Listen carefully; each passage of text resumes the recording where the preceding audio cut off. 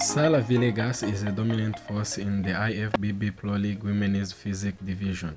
She has won the Mrs. Olympia title three times in 2020, 2021, and 2023, cementing her status as one of the greatest female bodybuilders of the modern era. Villegas' success is largely attributed to her exceptional conditioning, and she is known for maintaining a lean, dry physique while still displaying full dense muscles.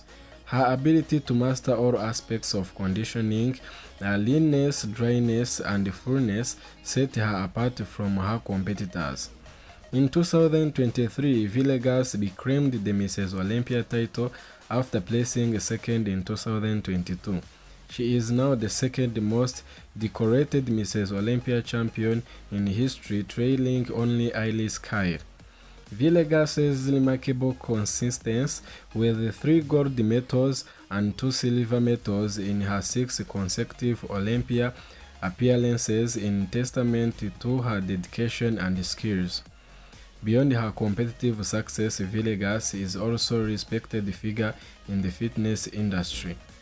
She serves as the professional training director and the principal nutritionist at the AFC Premier Fitness, where she leads team of the trainers and nutritionists specializing in body transformations, weight loss, and muscle building.